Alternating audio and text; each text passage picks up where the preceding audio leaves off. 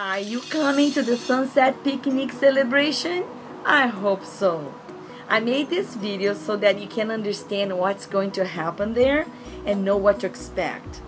So me and Kris, we had this idea of, of making this picnic event together women from all ages and shapes so that we can inspire them, you, and the others that you can bring uh, on working out, on being healthy. But being healthy not only in the concept of uh, moving your body and eating well, but also into um, acquiring the sense of knowing that you are supported. And how? Because we are going we are growing a community. A community of love a community of, uh, of blissful people that support one another. That's the most important thing of this event so here's my part. I call it how to have a smiling heart. So that's what we're going to be doing. I'm going to be doing several activities with you which is uh, going basically to uh, to um, inspire you to live life in another way, in a different way that you are living.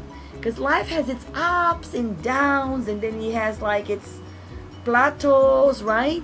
I call it like the seasons of life. So you have like the, the summer where everybody's celebrating. Then you go like back down to winter where you feel cold and sad and lonely.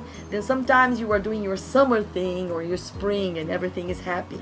But this this that I'm gonna teach you will help you prepare for the winter.